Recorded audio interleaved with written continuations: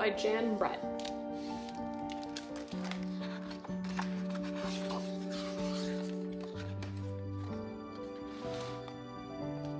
Once there was a boy named Nicki who wanted his new mittens made from wool as white as snow. At first, his grandmother Baba did not want to knit white mittens. If you drop one in the snow, she warned, you'll never find it. But Nicki wanted snow white mittens, and finally, Baba made them.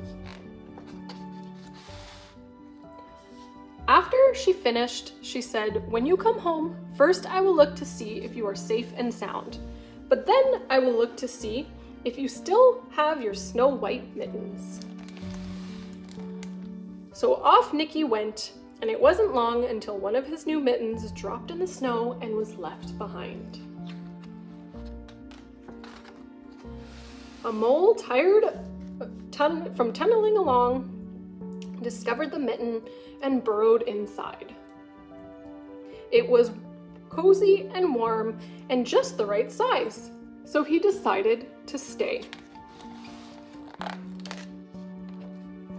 A snowshoe rabbit came hopping by. He stopped for a moment to admire his winter coat. It was then that he saw the mitten and he wiggled in, feet first. The mole didn't think there was room for both of them, but when he saw the rabbit's big kickers, he moved over.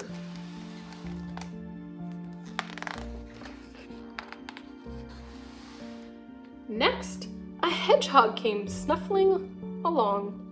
After having spent the day looking under wet leaves for things to eat, he decided to move into the mitten and warm himself. The mole and the rabbit were bumped and jostled, but not being ones to argue with someone covered with, prick with prickles, they made room.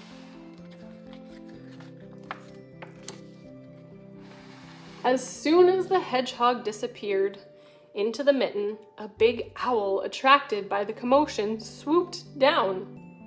When he decided to move in also, the mole, the rabbit, and the hedgehog grumbled. But when they saw the owl's glinty talons, they quickly let him in.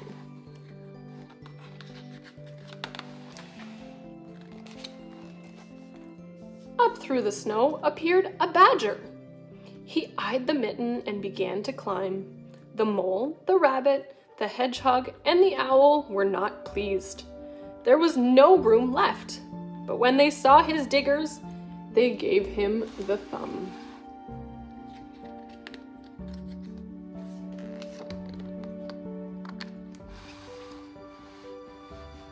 It started snowing, but the animals were snug in the mitten.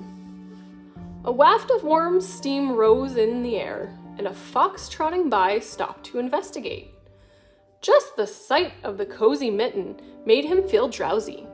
The fox poked his muzzle in. When the mole, the rabbit, the hedgehog, the owl, and the badger saw his tiny, his shiny teeth, they gave the fox lots of room.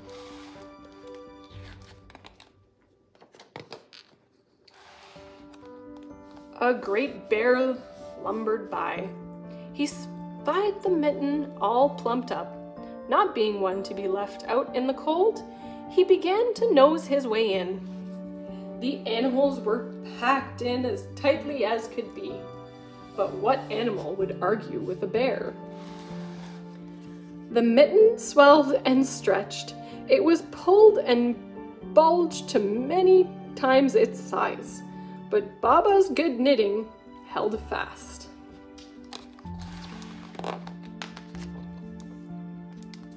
Along came a meadow mouse, no bigger than an acorn. She wriggled into one space left and made herself comfortable on top of the great bear's nose.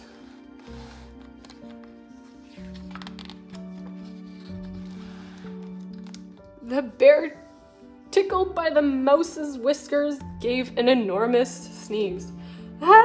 Achoo! The force of the sneeze shot the mitten up into the sky. and scattered the animals in all directions.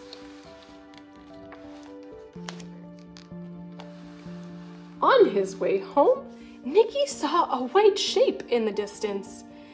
It was the lost mitten, silhouette against the blue sky.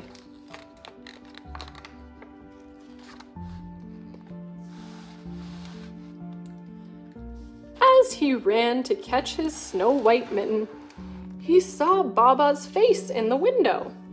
First, she looked to see if he was safe and sound, and then she saw that he still had his new mittens.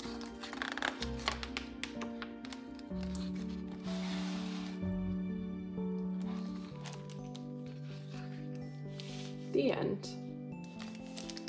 Now I'm going to read a French book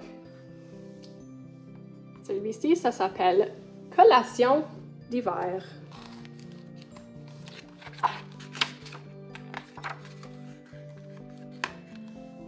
C'est l'heure du petit déjeuner et Écureuil a une faim de loup. Il met le nez dehors et immédiatement, une rafale lui ébouriffe le poil et lui glace le nez. Surpris, il rentre la tête dans son trou avant de la ressortir pour inspecter les alentours. Écureuil regarde devant lui. Mais qu'est-ce qui se passe? Qu'est-ce que c'est tous ces points blancs qui dansent dans l'air? Je ne vois plus rien. C'est l'hiver, répond Moineau. C'est la première tempête de neige. Curieux, Écureuil pose ses deux pattes sur le tronc, mais aussitôt, le voilà sur le dos au pied de son arbre. Qu'est-ce qui m'arrive? C'est l'hiver, répond Mr. Chat. C'est l'hiver sur mon arbre aussi? demande Écureuil intrigué. L'hiver, c'est partout. Le tronc de ton arbre est gelé. Alors, j'aime pas la glace, moi. Écureuil dresse ses oreilles. Rien, pas un bruit. J'aime pas l'hiver. Bougonne le petit rongeur. Trop froid, trop blanc, trop glacé et trop silencieux. Il y a de la neige même dans les mangeoires des oiseaux. Et moi, j'ai trop faim. Depuis la clôture, le pigeon lui crie Si tu as si faim, Va donc dans la cour d'école. Les enfants oublient toujours des petits morceaux de collation, juste pour nous. Dans la neige, jusqu'au cou, Écureuil avance maladroitement en direction de l'école. Je déteste l'hiver. Trop de neige. La cour est vide et blanche. Et en plein milieu se trouve un énorme géant tout blanc, lui aussi. Écureuil avance prudemment. Qui es-tu? Tu as froid? Tu as faim? Tu veux jouer? Il ne répond pas, explique Moufette. C'est un bonhomme de neige. Moufette, qu'est-ce que tu fais là? Je, je ne t'ai même pas senti arriver. C'est l'hiver, petit. Même les odeurs sont prisonnières du froid et de la neige. Et toi, tu devrais te mettre à l'abri. Tous les amis du bonhomme s'en viennent. Quelques secondes plus tard, un raz-de-marée d'enfants déferle dans la cour. Bien caché derrière le grand chêne, Écureuil les observe. Les enfants rient, courent, glissent, se roulent par terre et certains lancent des grosses boules de neige. Comme ils ont du plaisir, pense Écureuil. Ce n'est peut-être pas si mal, l'hiver.